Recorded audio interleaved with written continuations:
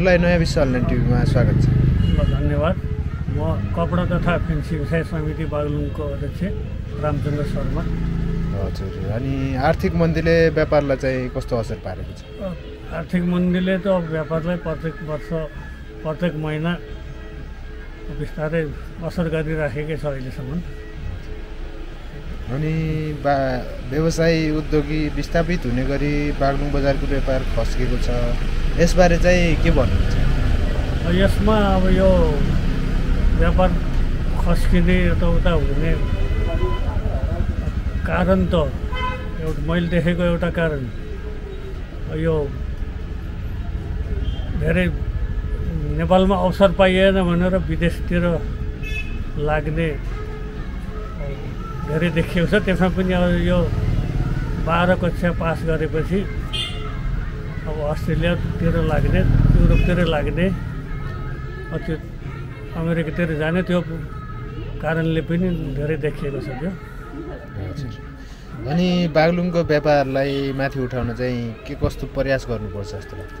यसमा यहाँको अब सम्बन्धित निकायहरूले यो विदेशी पर्यटकहरू भित्राउनलाई कसरी सकिन्छ जस्तै यहाँको बाग्लुङको माइकाथानमा आउँछन् तिनलाई बजारमा कसरी ल्याउन सकिन्छ र त्यस त्यस्तै अब विभिन्न यहाँको हाम्रो मठ मन्दिरहरू छन् पञ्चकोटदेखि लिएर अब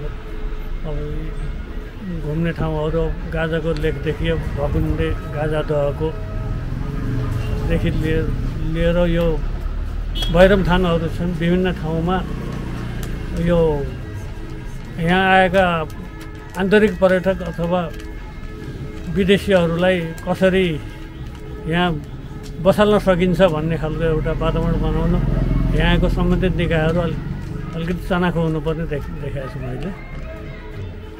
अनि पुस एघार गतेदेखि बागलुङ महोत्सव हुँदैछ। यसले बागलुङको व्यापारलाई चलायमान गराउन सक्छ कि सक्दैन? आयोजकलाई चाहिँ के सुझाव दिन अब चाहनुहुन्छ यो यसमा व्यापार व्यवसायमा निश्चित व्यवसायको त केही चलायमान जस्तो देखिन्छ पहिलाको अनुभव अनुसार पनि। अब यो लत्ता कपडा यताउतालाई त खासै त्यस्तो यहाँको व्या व्यवसायलाई त्यति बढी पहिला पनि अनुभवमा त्यस्तो देखिएको छैन। र यो विशेष गरेर यो यहाँको जुन महोत्सवमा राख्ने जुन सामानहरू छ त्यसमा स्थानीय उत्पादनहरूलाई विशेष जोड दिएर त्यहाँ स्टलहरूमा राख्नलाई प्रोत्साहन दियो भने यहाँको व्यापार व्यवसायहरूलाई केही भए पनि अलिकति महसुस के अरे राहत मिल्ने जस्तो मैले देखाएको छु र यो स्टलमा पनि अब यहाँको व्यवसायहरूलाई केही छुट दिने भन्ने आयोजकहरूको कुरो आएछ त्यसमा छुट दिएर राख्न चाहनेलाई विशेष प्रोत्साहन दिँदाखेरि राम्रो देख्छु। हजुर अनि अन्तमा नयाँ विश्व अनलाइन टिभी मार्फत चाहिँ के भन्न चाहनुहुन्छ? अब यो जुन अब यो हाम्रो टाइम टाइममा यो नयाँ विश्व अनलाइनले हामीहरूसँग यो समयअनुसार प्रतिक्रिया जुन लिइराखेको छ अब त्यसलाई त्यसले अरू बढी व्यवसायहरूसँगबाट उहाँहरूको प्रतिक्रिया लिएर सञ्चार माध्यममा राखिदिने गर् गर्नुभएको छ। त्यो अरू बढी गरिदिनु भयो भने सञ्चार माध्यमबाट यहाँको मान्छेहरूले पनि केही अब आफ्नो भनाइहरू पनि राख्ने र सुन् अरूको भनाइ पनि देख्ने सुन्न चाहने पनि हुन्छ नि जुन अब यी सहकारी गए नि बाहिर अब यी शिवशिखर इमेज सहकारी यिनीहरूले गर्दाखेरि पनि यो बजार व्यव तिनीहरूले जुन पैसा लिएर गयो तिनीहरूले गर्दाखेरि पनि बजार व्यवसाय व्यापारमा ठुलो धक्का देखिएको जस्तो मैले महसुस गरेको छु र तिनीहरूलाई अब यो सम्बन्धित निकायले अब यो कारवाही गर्ने निकायले तत्काल खोजेर कारवाही गरेर त्यहाँ फँसेकाहरूको रकम उपलब्ध गराइ गराइदिएमा धेरै धेरै राम्रो हुने जस्तो मैले देखेको छु। हजुरलाई नयाँ विश्व अनलाइन टिभीमा स्वागत छ। धन्यवाद। हजुरको नाम? मेरो नाम टिकाराम शर्मा त्यो आर्थिक मन्दीले व्यापारलाई चाहिँ कस्तो असर पारेको छ? व्यापार त धेरै गाह्रो छ अहिले व्यापार चल्न। मान्छे पहिलो कुरो त जनसङ्ख्या घटे जस्तो लाग्छ धेरै। अब यो बाहिरको हावाले मान्छेहरू पनि कम छ व्यापार मान्छे नहुँदा त्यसै कम भइरहेछ आफै दुःख धेरै थोरै गर्न त केही मात्रामा छ मान्छे राखेर चलाउनु पर्ने स्थिति छैन तलब पनि दिन नपुग्ने भइसकेको छ। अनि व्यवसायी उद्योग उद्योगी विस्थापित हुने गरी बागलुङ बजारमा व्यापारको खस्किएको छ है। यसले यसको बारेमा चाहिँ के भन्नुहुन्छ यसको यो व्यापार योलाई त त्यो दिन सुध्रने भनेको सबभन्दा हावा कस्तो लगाइदियो भने यो हामीले गरेको हामीले गरेको व्यवसायमा कोही पनि अडिने स्थिति छैन अहिले। कसैले फेन्सी गरेको छ कसैले हार्डवेयर गरेको छ मैले मिठाई पसल गरेको छु भने यही विषयलाई कसैले काम सिक यो गरौँ कसरी जोगाड गरौँ भन्ने कसैको यसमा धारा छैन। अब हामीभन्दा माथिको बुढा भइसक्यो हामी पनि यस्तो उमेर भइसक्यो। अनि भरू याएर बढिसक्यो भने विदेशको हिसाब कर्म भइरहेको मान्छे। त्यो भएर व्यापार पनि धेरै गाह्रो स्थिति पो देखिएछ धान्नै गाह्रो छ हेर्नु। महँगाइले सबै चिजलाई छोइराखेको छ महँगी बढी खर्चिलो स्थिति यहाँ छ। अनि काम सिक्ने धन्दा कुनै पनि अब रोजगार हिसाबको अब यसैमा नि काम धन्दा सिके त त्यसरी छ त बिस तिस हजार रुपियाँ महिना पार्न सकिन्छ। तर यहाँको कामलाई कसैले चाहन र गर्दैन। त्यही भएर यो जोगाउनलाई नि धेरै गाह्रो पो देखिन्छ त यहाँ त कामरी मान्छे पाइँदैन पिटिकै अनि गर्न नसक्दा पनि त्यसै बन्द हुन्छ। हजुर अनि बागलुङको व्यापारलाई माथि उठाउन चाहिँ के कस्तो प्रयास गर्नुपर्छ? व्यापारलाई त अब त्यही हो यहाँको सबभन्दा त अब आफू सबै लाग्नुपर्छ। अब यहाँको स्थानीय निकाय सरकारहरू पनि अब यो व्य- व्यापार बिजनेसलाई अलिकति ध्यान दिनुपर्ने छ अब व्यवसाय बिजनेस गर्ने मान्छेहरू आफैमा निर्भरता हुनु पऱ्यो अब चिजहरू राम्रो राम्रो अलि अब स्वच्छ हिसाबको चिजहरू बिक्री वितरण राख्नु पऱ्यो त्यो अनुसारमा जाने हो। अनि बाहिरबाट पर्यटकहरू अलिकति भित्र छिराउने हिसाबको हुनु पऱ्यो यो बागलुङमा बागलुङमा त्यसै कम भइरहेछ मान्छे भित्र छिर्ने स्थिति छैन। र यी सबै चिज जुट्न गयो भने त केही मात्रा बढ्दै जाला नत्र दिनुभन्दा घट्ने स्थितिमा देख्छु म मेरो विचार। हजुर अनि पुस एघार गतेदेखि बागलुङ महोत्सव हुँदैछ। यसले बागलुङको व्यापारलाई चाहिँ चलायमान गराउन सक्छ कि सक्दैन? यसबारे आयोजकलाई के भन्नुहुन्छ अब आशा त हो हाम्रो यो महोत्सव लगाएर पक्का पनि व्यापार बढ्ला रमाइलो होला देख्न यो हुन्छ भन्ने त आशा सबैमा भरपर्दो छ। जस्तो पहिलेको भने पहिले अनुसारमा त फरक केही मात्रामा फरक पर्ला जस्तो लाग्छ। बिजनेस व्यापार भनेको यही हो जस्तो स्थिति छ यही हो। अब केही मात्रामा त व्यापार होला। तर धेरै सोचे अनुसार गर्नलाई अलिकति समस्या देखिन्छ। अन्तमा नयाँ विश्व मार्फत चाहिँ के भन्नुहुन्छ? नयाँ विश्व मार्फत। नयाँ विश्वलाई ठिकै छ यो तपाईँहरू यो आएर अब यो त संसारहरू बुझिदिनु भएको छ बेउरा बिजनेस व्यापारीहरूका कुराहरू बुझेर तपाईँहरूले यो जुन मिडियामा बाहिर उतार्नु भएको छ यसको लागि म धेरै धन्यवाद दिन्छु। र यसरी घर दैलोमा आएर आफ्नो पसलमा आएर संसार लिनुमा धेरै धन्यवाद। र आफूले जानेको देखेको कुरालाई अब सेयर गर्न पाइयो छ। भन्दै अब फेरि फेरि पनि यस्तै खबरहरू पुऱ्याइदिनु होला बाहिर। भन्ने धन्यवाद दिन्छु। हजुरलाई नयाँ विश्व अनलाइन टिभीमा स्वागत छ। धन्यवाद हजुरलाई पनि र मेरो टिमलाई पनि है। हजुरको नाम? मेरो नाम मनकाजी विश्वकर्मा।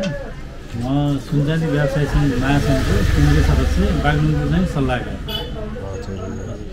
अनि आर्थिक मन्दीले व्यापारलाई चाहिँ कस्तो असर पारेको छ? अब यो आर्थिक मन्दिरले व्यवसायलाई चाहिँ एकदम असर त पारेको नै छ। अब किन भन्दाखेरि चाहिँ अब हाम्रो चाहिँ अब बागलुङ बजार चाहिँ अब जुन ठाउँहरू चारै ठाउँबाट घेरिएको एउटा सेन्टर छ तर यसमा अहिले चाहिँ ठाउँ ठाउँमा गाडी जाने भएको कारणले गर्दाखेरि चाहिँ र मान्छेले चामल हरेक चिज खाद्यान्न लगायत चिजहरू चाहिँ गाउँ गाउँमा जाने भएको हुनाले चाहिँ अब बागलुङ बजारमा त्यति व्यवसाय भएको चाहिँ अहिले देखिन्न। र एउटा सुन पसल चाहिँ एउटा विश्वासको वातावरणबाट चाहिँ हुने भएको हुनाले र यो एउटा सुरक्षाको हिसाबले गर्ने बजार केन्द्रित भएको कारणले गर्दा मात्रै सुन व्यवसाय चाहिँ बजार बजारमा भएको नत्र अब गाउँघरमा चाहिँ धेरै चाहिँ अरू व्यवसाय हुने भएको हुनाले गाउँको मान्छे चाहिँ बजारमा नआएर नै मन्दी भएको जस्तो लाग्छ। अनि व्यवसाय उद्योगी विस्थापित हुने गरी बागलुङ बजारको व्यापार खस्किएको छ है। हजुर। अनि यसको बारेमा चाहिँ के भन्नुहुन्छ? अब यसलाई यो व्यापारलाई चाहिँ एकदम बनाउन जस्तै महोत्सव जस्ता कार्यक्रमहरू राख्नुपर्ने हुन्छ। अब गाउँ घरमा चाहिँ अब यो गाडीहरू चाहिँ त जाने त छन् होइन। तर तैपनि यसलाई व्यवस्थित तरिकाले बजार सफा हुने गरी चाहिँ गाउँघरका अब यो गाडीहरूलाई चाहिँ व्यवस्थापन गर्न सक्नुपर्ने हुन्छ। र यो ठाउँ ठाउँमा पुलहरू भयो अहिले जस्तै होइन पुलहरू भयो अब पुलले गर्दा पर्वत पर्वतको मान्छे यहाँ बाग्लुङमा आउने भयो रत्नचौरको पुलले गर्दा यता आउने भयो बलेवाडको पनि यस्तै आउने भयो।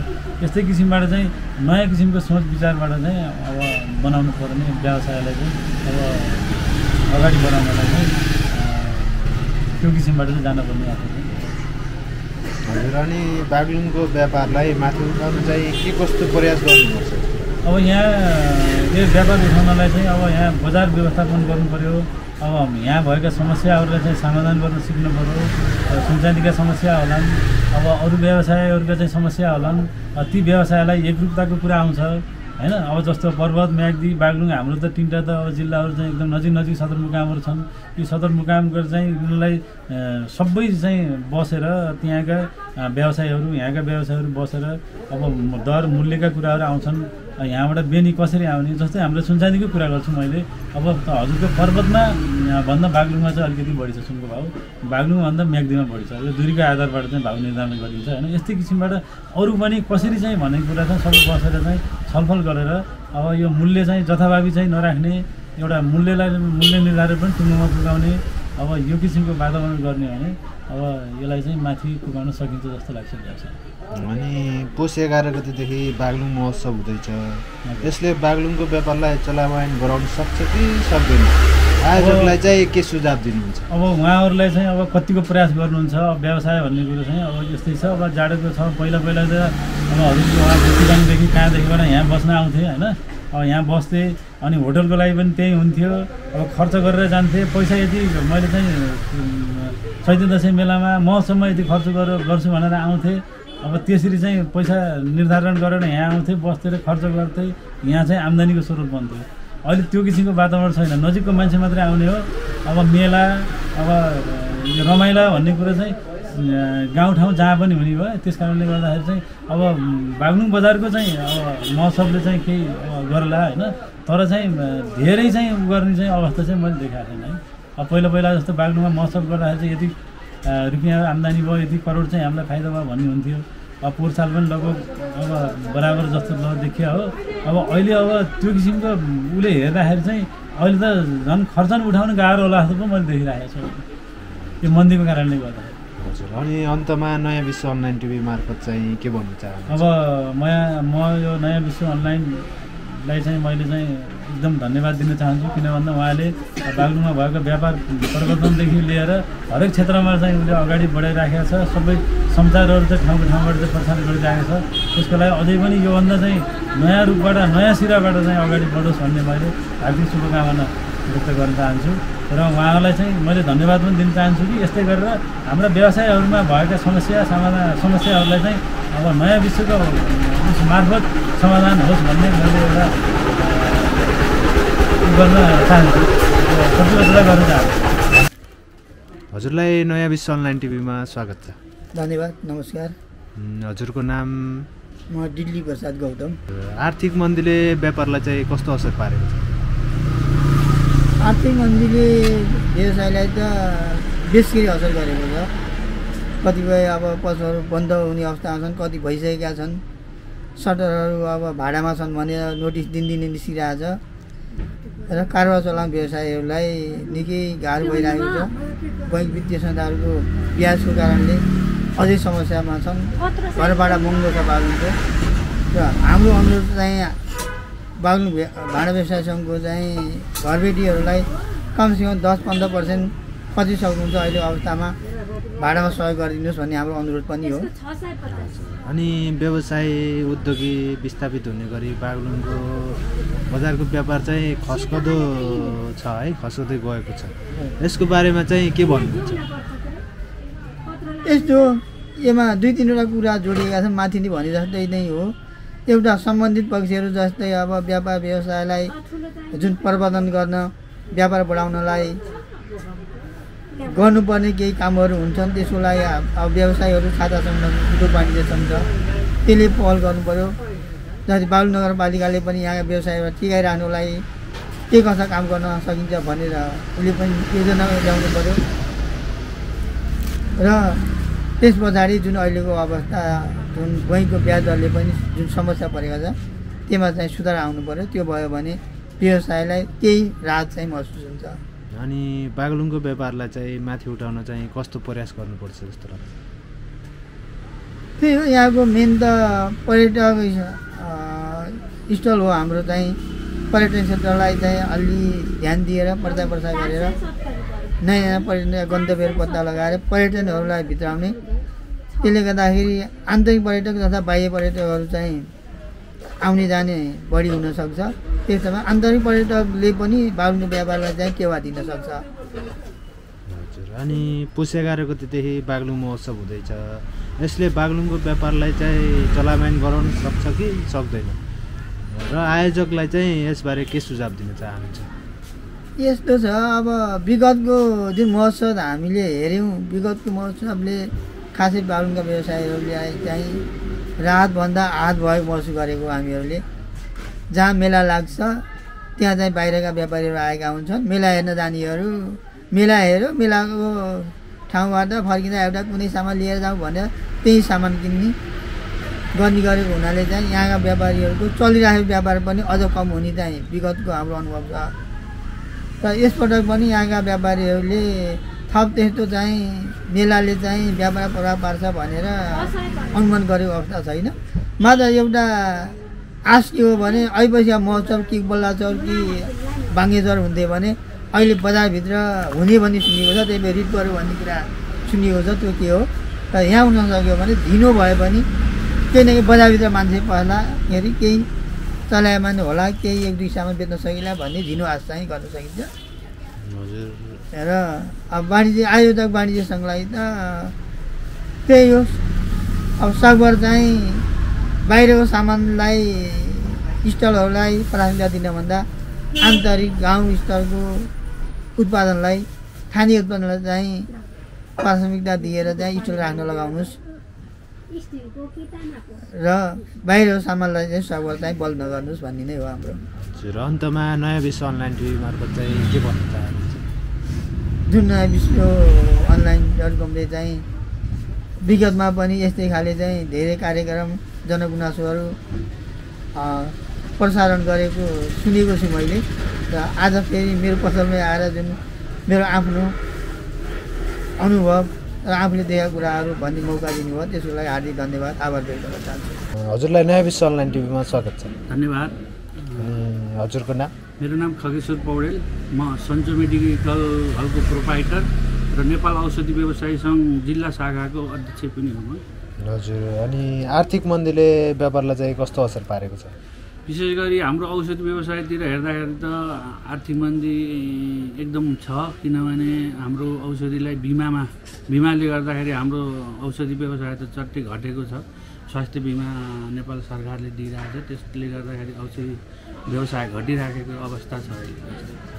हजुर अनि व्यवसायी उद्योगी विस्थापित हुने गरी बाग्लुङ बजारको व्यापार खस्केको छ। यसबारे चाहिँ के भन्नुहुन्छ? विशेष गरी अहिले यो कोरोनाको कारण कोरोना मन्दी कोरोना भएदेखि यता मन्दी एकदम व्यापक मन्दी लागेको रहेछ बागलुङ बजारमा। व्यापार छँदै छैन। अब युवाहरू विदेशिनु परेको छ अवस्था छ। व्यापार नभएर कतिले सटरहरू खाली गरेर गाउँ फर्किने अवस्था छ व्यापारले गर्दाखेरि। व्यापार नभएर जनताहरूले एकदम दुःख पाएको अवस्था छ। हजुर अनि बाग्लुङको व्यापारलाई चाहिँ माथि उठाउन चाहिँ कस्तो प्रयास गर्नुपर्छ जस्तो लाग्छ? विशेष गरी बागलुङ बजारमा पर्यटकीय स्थल प- पर्यटकीय स्थलहरू ल्याएर अनि विशेष गरी यहाँ मेला महोत्सवहरू आयोजना गरेर यहाँको व्यापार व्यवसाय बढाउन पनि सकिन्छ। हजुर अनि पुस एघार गतेदेखि बागलुङ महोत्सव हुँदैछ। यसले बागलुङको व्यापारलाई चाहिँ चलायमान गराउन सक्छ अथवा सक्दैन? आयोजकलाई चाहिँ के सुझाव दिन चाहनुहुन्छ? विशेष गरी औषधि पसलको हिसाबले गर्दा औषधि पसलमा त्यस्तो व्यवसाय महोत्सवले बढाउँछ भन्ने त हुँदैन। त्यस्तो अरू औषधि पसलबाट अरू व्यवसाय त बढ्दैन मलाई महोत्सवले। अरू व्यवसायलाई महोत्सवबाट फाइदा हुन्छ। जस्तै किरानाहरूलाई रक्सी व्यापारीहरूलाई खाद्यान्न कपडाहरूलाई व्यापार बढ्दै जान्छ। हजुर अन्तमा नयाँ विश्व अनलाइन मार्फत चाहिँ के भन्न चाहनुहुन्छ? ठिकै धन्यवाद छ नयाँ विश्वलाई जुन हाम्रो बागलुङको स्थिति लिएर यसरी सल्लाह सुझाव दिने मौका दिनुभयो। त्यसको लागि नयाँ विश्व डट कमलाई हार्दिक धन्यवाद दिन चाहन्छु।